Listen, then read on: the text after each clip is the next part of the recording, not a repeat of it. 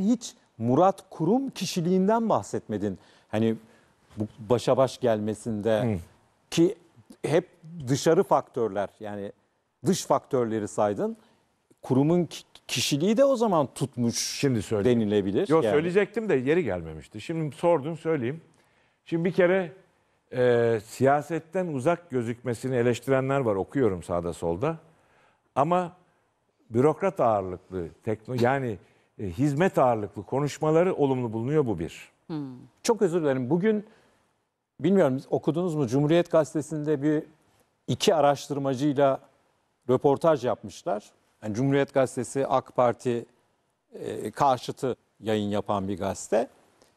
O araştırmacılar da e, özellikle bir tanesi şunu çok vurguluyor. Yani diyor ki AK Parti kendi açısından diyor en doğru adayı çıkarttı diyor.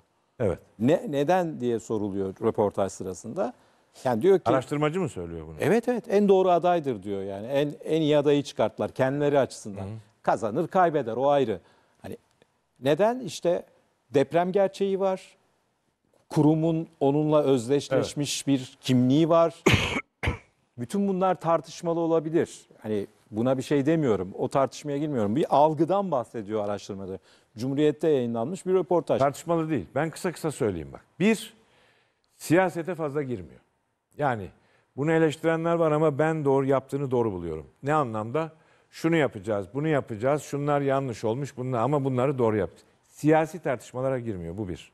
İki, Bu iyi bir şey mi? bu çok iyi bir şey.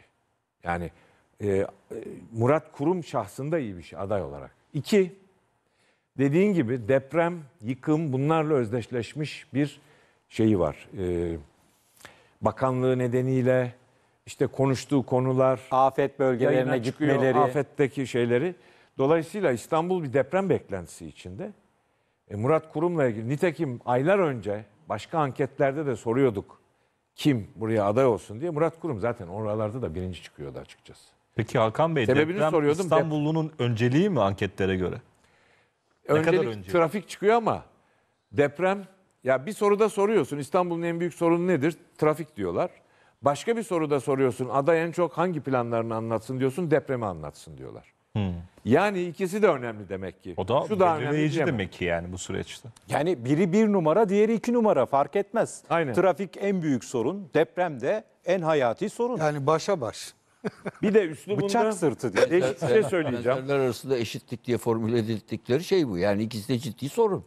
Ne derler buna? Benzerler arasında eşitlik. E, doğru. Biri de değişik bir şey hayatımızdan söyleyeceğim. çalıyor, Yani ilginç diğeri gelebilir size. hayatımızdan ediyor. Yani. konuşma üslubunda, ses tonunda masumane bir ses tonu ve şeyi var, yaklaşımı var. Ee, o insanlarda da bu tür bir hava yaratıyor. Ne tür bir hava. Şöyle, e, yani e, siyasetten uzak kalmaya çalışan, hizmet vermek için uğraşan ve gerek muhalif seçmene gerek muhalif partilere de fazla e, böyle ağır eleştiriler değil, eleştiri bile yöneltmeyen bir üslup koyuyor. Gerilimi Yumuşak. tırmandırmıyor yani. Gerilim tırmandırıcı değil. Hiç gerilim tırmandırmıyor. Ama Tabii yani 5-6 faktör var. Peki ben burada bir şey sorabilir miyim müsaadenizle? Ee, Ekrem Bey sürekli Murat Bey'i mindere çekmeye çalışıyor. İşte aslında benim adayım kendisi değil diyerek bir anlamda onu e, ismini törpülemeye çalışıyor. Sayın Cumhurbaşkanı ile kendisini denk tutma gibi söylemlerde bulunuyor. Sonra e, işte sürekli talimat aldığı yönünde böyle sürekli siyasi bir şeye çekmeye çalışıyor. Çizgiye çekmeye Polemiğe. çalışıyor. Polemiğe. E, karşılıklı böyle e, sataşma istiyor açıkçası. Bu üslup Ekrem Bey'e artı mı yazıyor, eksi mi yazıyor? Ve buna karşı Murat Bey'in ya benim gündemim Sayın İmamoğlu değil, benim gündemim sadece İstanbul söylemi ona artı mı yazıyor, eksi mi yazıyor? Ben bunu merak ediyorum. Bu konuda ben bir şey söyleyebilir miyim? Düş- ne düşündüğümü. Bence İmamoğlu çok doğru bir politika izliyor bunu yaparak. Yani sen benim muhatabım değilsin, işte Cumhurbaşkanıdır muhatabım demesi.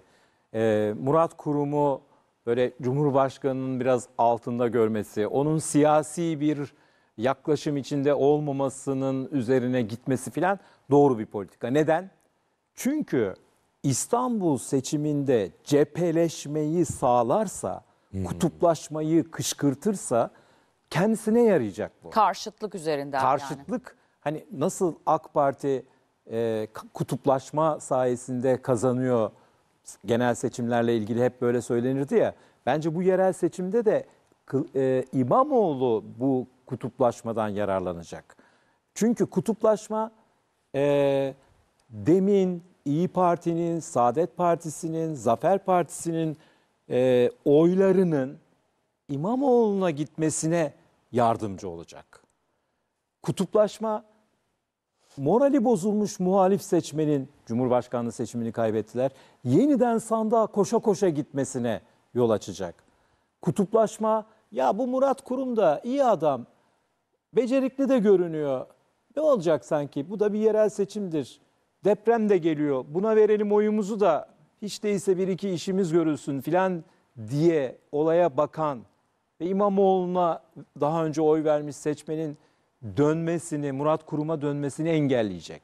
Dolayısıyla İmamoğlu çok doğru bir politika yapıyor. Buna karşılık eğer İmamoğlu'nun bu oyununa Murat Kurum gelirse bu sinir harbinde yenilip bunun onunla polemiğe girmeye kalkarsa işte o zaman kurum aleyhine müthiş bir durum ortaya çıkar. Tam olarak merak ettiğim benim de bu yani buna karşılık vermemesi. Kesinlikle.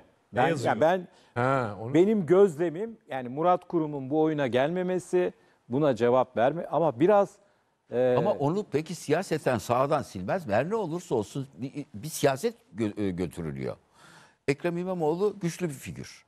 Onun karşısında Murat Kurum'un cevap vermemesi, Şu. onun cevap verememesi cevap vermeme noktasına cevap, gelir mi acaba? Aslında cevap, cevap vermemesi veriyor. derken kastettiğim Ben sizin kastınızı anlıyorum. hiç cevap vermemekten Yok. bahsetmiyorum. Veriyor. Ben, Şöyle bir cevap vermiyor Ahmet Bey. Sen Sayın Cumhurbaşkanı'nın sikletinde misin?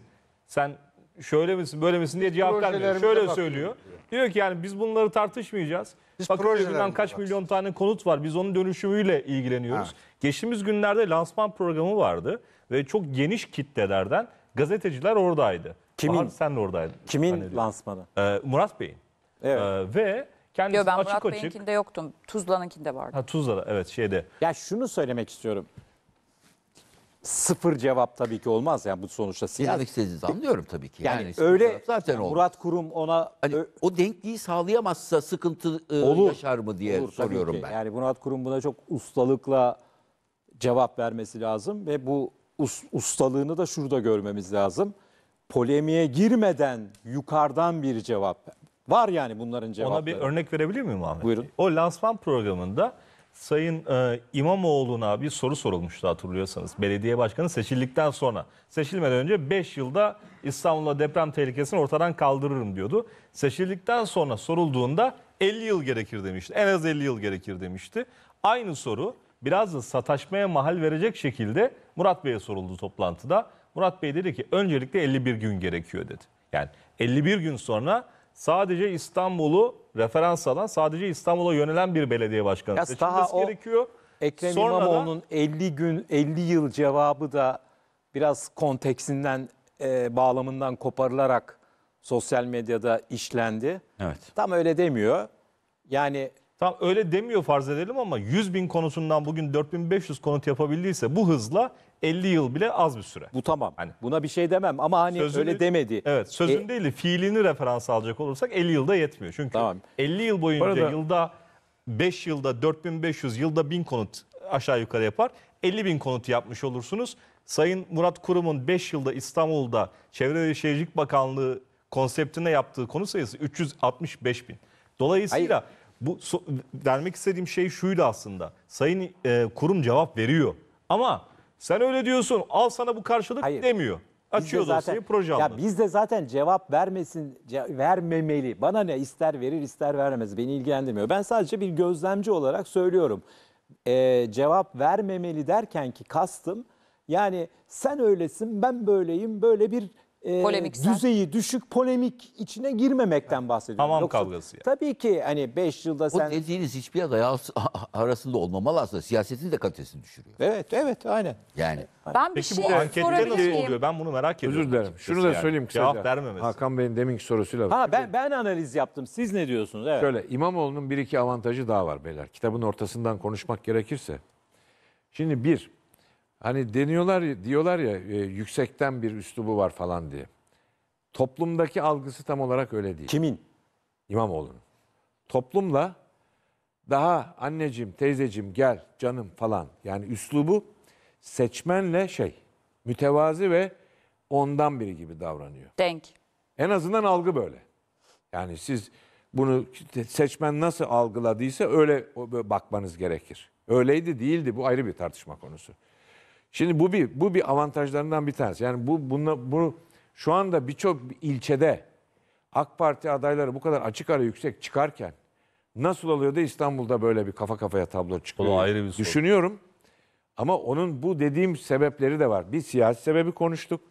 İki kişilik olarak algısı yüksekten bakan bir başkan gibi değil. Yani tatile gittim geldim falan konusu çok gündeme getirildi ya. Seçmendeki algısı oralara gitmiyor. Seçmendeki algısı mesela videosu yayınlanıyor. Gel teyzeciğim gel ne diyorsun falan. Üslup bu anlatabiliyor muyum? Hal Öyle böyle olunca. Sen yine Erdoğan'a oy ver Sayın Cumhurbaşkanı. Yine Ha, oy ver. mesela öyle diyor Belediyede falan. bana ver falan. O söylemleri gerçekten Şimdi demek ki karşılık bu, bununla da bir avantaj sağlıyor. Bir de eleştiriliyor ama sonuç önemli. Ee, tanıtımı son bir aydır falan bayağı kuvvetli. Yani ne yapı ne yapmadım, hizmet şunu yaptım, bunu yaptım anlamında İstanbul'un çok yerinde etkinliğini görüyorum. Yani ne bileyim billboard, işte afiş, büyük afişler, o büyük e, outdoorlar filan. Yani ne yapıp yapmadıysa onları e, etkin bir şekilde anlatıyor. Tanıtıma demek ki ciddi bir emek veriliyor. E şimdi bunların hepsini bir araya tanıtım getirdiğinizde bütçesi objektif deprem bakışla- bütçesinin 8 katı. E, O kadar olsun yani. Kimin? İstanbul Büyükşehir Belediyesi. İmamoğlu'nun. Yok İstanbul, hayır Sayın İmamoğlu'nun kendi bütçesini bilmiyorum da İstanbul Büyükşehir Belediyesi'nin geçtiğimiz yıl e, mecliste onaylanan bütçesinde tanıtım medya tanıtım bütçesi deprem bütçesinin 8 katıydı. Doğru mu? Ara Normal. Doğru mu bu? Doğru ya. Doğru. Hatta burada e, Sayın Tevfik Göksu da tablolar halinde gösterdi. abi bütün bunları. Göksu gösterdi. P- PR'a daha çok para aktardı değil Hayır mi? bunu Ya söyleyen teknik Sayın olarak- Tevfik Göksu da değil. Cumhuriyet Halk Partisi'nin şu anki Bakırköy Belediye Başkanı da aynı ifadeyi kullandı. Evet başarılı. PR konusunda çok başarılı dedi. Ben Kerimoğlu. bu benim evet Sayın Bülent Teknik Kerimoğlu. olarak biraz zor ama bakmak lazım ya. Bana biraz teknik Yok, olarak ben bakayım, imkansız söyleyeyim gibi geldi. ama. Bahar Hanım bir şey söylüyor. Bir bakın Bahar Hanım. Ya ben şunu merak ediyorum. Bu başa baş denklemde şu ana kadar sahada Murat Kurum var. İşte İstanbul'u geziyor, oraya gidiyor, işte buraya gidiyor. Seçmen muhtemelen artık tanıyor herhalde kendisini diye düşünüyorum. Bilmiyorum öyle midir? Peki sahaya Cumhurbaşkanı Erdoğan'ın inme faktörü böyle bir strateji var mı yok mu bilmiyorum bu arada. Dengeyi değiştirir mi ya da ne ölçüde kime yarar nasıl değiştirir? Yani kurum, İstanbul'da. kurum lehine mi olur? Ay yoksa mi olur? aleyhine mi olur? Aynen. Şimdi açıkçası Cumhurbaşkanı'nın bu konulardaki her müdahalesi partisine olumlu yansıdı. 22 yıldır böyle oldu. Ama bu İstanbul seçiminde e, Murat Kurum'un yani bir aday olarak bir gölge aday görüntüsü vermemesi daha doğru gibi geliyor bana. Yani Cumhurbaşkanı'nın kanatları altında bir görüntü olmaması çünkü İstanbullu sonuçta belediye başkanı seçtiğinde ondan müstakil şey isteyecek e, hizmet ne bileyim işte falan bekler yani seçerse şayet. Dolayısıyla o çok fazla gölgede kalmaması da doğru. Şimdi mesela İmamoğlu'nun afişlerine bakın. Ee, yani Özgür Özel'le de afişleri var ya da vaktiyle Kılıçdaroğlu'yla da afişleri vardı. Ama ağırlığı hep Kendi. Ekrem İmamoğlu üzerine. E, kuruyor. kurumun afişleri de öyle. E, tamam işte öyle Ama devam. orada şey var. Yani ötmeli dedim zaten. Dedi ya Bahar Hanım Ya Cumhurbaşkanı. şöyle ben ben ka- kanaatimi söyleyeyim. Ya bu kampanya sürecinde Cumhurbaşkanı bir İmamoğlu'nu doğrudan hedef alan açıklamalar yapar. Onunla polemiğe girer. Onunla ilgili bir şeyler söylerse İmamoğlu'nun bu arayıp da bulamadığı şey. O bundan öyle mutlu o- olur ki yani. Ekrem Bey istiyor zaten. İstiyor Söylesin, gel gel mümkünse. yapıyor sürekli istiyor gel diyor filan. Birinci Bu arada şey buldum bütçeyi. dilerseniz Birinci şey bu. İkincisi Cumhurbaşkanı'nın eee, mutlaka bu konuyla ilgili bir şey söyleyecek. Çünkü sonuçta partinin başkanı Ve Daha- İstanbul'a çok önemsiyor. İstanbul'a önem veriyor. Daha genel daha genel ifadelerle. Ben de şu ana kadar Erdoğan'ın çizgisini bu bu açıdan çok merak ederek izledim. Baktım bütün konuşmalarında İmamoğlu'nun adını söylemiyor. Daha çok 5 yılda pek bir şey yapamadılar gibi bir Evet. anlatı üzerine kurgulanmış. bir şeyi söylüyor. Ama şeyin e, part-time belediye başkanı ifade. Ya evet Orada öyle bir takım şey- anlatıları var isim vermeden. Öyle işte 5 yılda Evet. pek bir şey yapamadılar. Ve onu biraz da sadece İstanbul için değil genelleyerek söylüyor. Genel- Bu arada çok özür dilerim abi. İstanbul Büyükşehir Belediyesi'nin Doğal Afetler Komisyonu Başkanı Kadem Ekşi'nin bu açıklaması. Ee, İBB'nin son bütçesinde sosyal konut yapımı için ayrılan bütçe 12 milyon TL, reklam tanıtım ve medya hizmetleri için ayrılan bütçe 849 milyon TL e, şeklinde. Nereden okuyorsun onu? Ya kaynak Sitenin adını vereyim mi? Ya bu şey ajans haberi. Böyle ajans Ya işte hayır açıklayan kişi Bunlara bir söyledi bakmak zaten. lazım. Yani bir Açıklayan bakalım. Yok kişi bir de söyledi. şöyledir. Başka kalemler de vardır. Bu sosyal medya çıktı O çıkalı. bir tek şeydir. Evet evet. Yani evet. Yani bu dikkatli davranmak kaynak gerekiyor. meselesi- Doğru. Evet. e, Hayır, önemli sadece bir sosyal bilgi var medyadan etrafta. görsem dediğiniz doğru da hani e, Yok yok Ben- o tamam da. AK Parti Grup Başkanı da Do- bu doğru. açıkça ifade Doğru, ediyor. yine de biz- Raporlara da Yo, yo, yansımış. şey söyledi Biz ya. objektif Tevfik Bey grafiklerle gösterdi. Tamam, Daha Tevfik doğrusu- Bey de bahsedebilir. Tevfik Bey referans Siyasetçi sonuçta. evet Hayır, hayır. siyasetçi. Bu doğru anlamda değil de Tevfik Bey bunu dedi diyorum ben. Ya arkadaşlar gazeteci olarak gidelim bunun kaynağına bir bakalım Tabii. yani. Önemli Evet. olan bu diyorum yani. Ona bir bakılsın. Kaynakta doğru. İstanbul Büyükşehir Belediyesi Yani açıklasın. bir- evet baksınlar bakalım. Ben şeyin e, Cumbaş sevgili Bahar'ın sorusuna istinaden şimdi şey e, Cumhurbaşkanı Erdoğan muhtemelen son bir haftayı İstanbul'a ayıracak. Öyle görünüyor. Yani İşte onu İstanbul- merak ediyorum aslında öyle evet, yapacaksa. İstanbul'u bir tur dönecek. Yani ilçeleri İlçelere gidecek dönecek. muhakkak. Ama şeyi e, düzlemi benim bildiğim kadarıyla, öğrendiğim kadarıyla tam da Ahmet Bey'in dediği gibi. Yani birebir polemiğe girip tartışma yaratmak yerine İstanbul 5 yıldır sahipsiz kaldı. Bir a, şey kötü bir dönem yaşandı. İstanbul'u Retret devri diyor Cumhurbaşkanı. eski kimliğine kavuşturacağız İstanbul'u en iyi ben bilirim. Bunu layık değil, bunu hak etmedi gibi bir düzlemde yapacak görünüyor. Tamam Ha, ya bunu dediği anda zaten sahadadır e, Cumhurbaşkanı o noktadan sonra. Muhatabıdır evet. artık yani. diyecek. sahada o- İstanbul'da, Mu- Yok, muhatabıdır yani. dönecek. Şöyle yani sahada olmanın Olacak. şekli, şemali, çerçevesi, üslubu, tarzı önemli bir şey. Olacak da bir parti başkanı. Yani Tabii, partisi tabii, için seçim kampanyası yapacak. Çok ince Yani- bir çizgi. Seçime Tabii birkaç çok zor bir çizgi. Evet.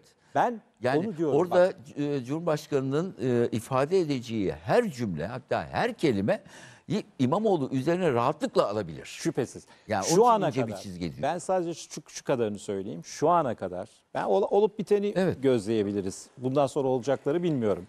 Şu ana kadar Erdoğan'ın yaptığı konuşmalara baktım diyorum ben.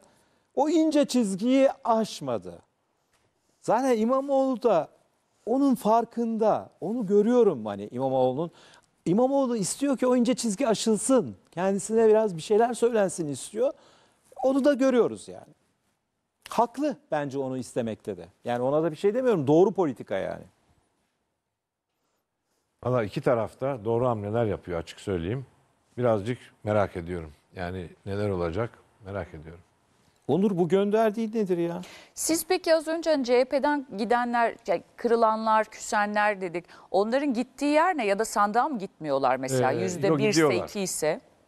Valla şimdi yani böyle 0.5'lik 0.6'lık parti mesela Memleket Partisi şimdi yerel Ha. seçimde çıkamazdı ama bir buçuk ikiden aşağı almayacak. Ha bir kısmı oraya gitti E diyelim. tabi yani mesela orada şimdi Muharrem İnce aday olmayıp Kemal Kılıçdaroğlu'na destek verdi ya. E, koyu fan Kılıçdaroğlucular daha kolay o durumda e, Muharrem İnce'ye veriyorlar. Bir- Yani sandığa, da git- beğendikleri. sandığa gitmemek de bir tepkisellik olabilir mi? Bir de gitmeyen var. Aynen aynen canım yani onu zaten varsaydığınız için söylemedim. Yani bu tür çünkü durumlarda e, tepkisellik Böyle bir kitle var içine ama doğru. girilebiliyor. İki, iki buçuk puan gibi ölçüyorum şimdilik. Epey varmış. Az puan değil ki bu.